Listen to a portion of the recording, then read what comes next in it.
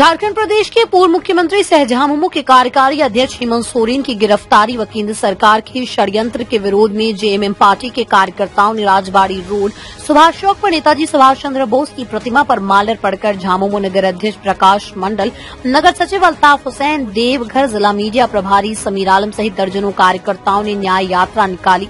दर्जनों कार्यकर्ता न्याय यात्रा में शामिल होकर मधुपुर शहर के वार्ड नंबर 14 से 17 तक के विभिन्न गली मोहल्ले, चौक चौराहों का भ्रमण किया और लोक केंद्र के इशारे पर जाँच एजेंसी ईडी के द्वारा गलत तरीके से पूर्व मुख्यमंत्री हेमंत सोरेन को जेल भेज दिए जाने की बात लोगों को बताई। मौके पर नगर अध्यक्ष प्रकाश मंडल ने कहा कि केंद्र सरकार के तानाशाही रवैये के कारण हम सबों के नेता हेमंत सोरेन को झारखंड की अस्मिता को बचाए रखने के लिए जेल जाना पड़ा। हमारा संघर्ष तब तक जारी रहेगा जब तक हेमंत सोरेन जेल से बाहर नहीं आ जाते हैं।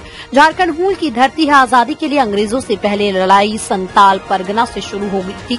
हेमंत सोरेन ने झारखंड का नाम मान सम्मान बढ़ाया और वीरों की भूमि का मान रखा। मौके पर अल्पसंख्यक मोर्चा नगर अध्यक्ष सरफराज अहमद, स्वास्थ्य विभाग के विधायक प्रतिनिधि शाहिद नगर परिषद प्रतिनिधि अरविंद यादव, जुगल यादव, मुश्ताक आलम, सन्नू नौशाद आलम संजू अब्दुल गफ्फार, शाहिद डब्लू यादव, कमर शेख, आलमगीर, आलम सहित अन्य कार्यकर्ता मौजूद थे। मधुपुर ऐसी इम्तियाज़ अंसारी की रिपोर्ट। दमदार निर्माण का भरोसा, लाल स्टील टीएमटी बार्स हर निर्माण के लिए उपयोग, लाल स्टील टीएमटी बार्स रिश्ता, मजबूती का।